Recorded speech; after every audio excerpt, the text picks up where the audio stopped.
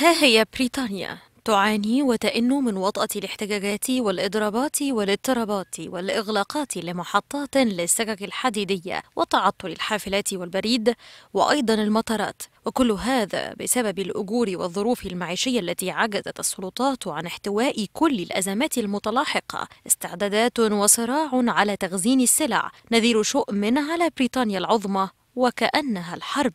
هنا لندن. التي تشهد موجة من الإضرابات هي الأضخم منذ أكثر من عشر سنوات في شتى المجالات حتى وصل الأمر لمطار هيثرو إذ أعلن عمال المناولة الأرضية في مطار هيثرو البدء في إضراب عن العمل لمدة ثلاثة أيام نهاية الشهر الجاري في الوقت الذي تزايدت فيه ما يسمى بحركة الاستعداد لدفع الكثيرين بتخزين الإمدادات في منازلهم في صورة تشبه أولئك الذين يوشكون على دخول حرب.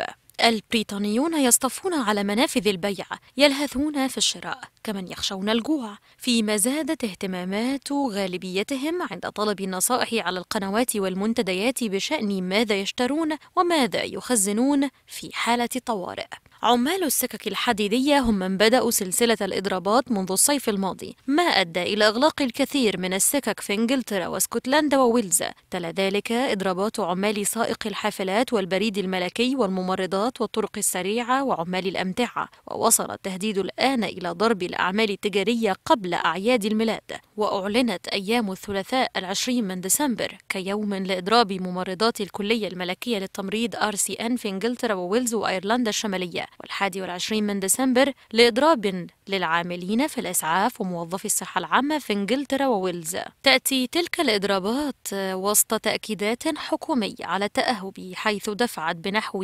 1200 عنصر من الجيش يحلون مكان موظفي الإسعاف وقوات حرس الحدود المتجهين إلى الإضراب خلال عيد الميلاد وذلك لسد فجوة غياب الموظفين ومواصلة تشغيل خدمات الخطوط الأمامية وتنفيذ نحو عشرة ألاف موظف من سائقي سيارات الإسعاف في إنجلترا وويلز رغم أن عناصر الجيش ليست مدربة بالشكل الكافي للحفاظ على خدمات الخطوط الأمامية والقيام بأعمال الموظفين المضربين عن العمل.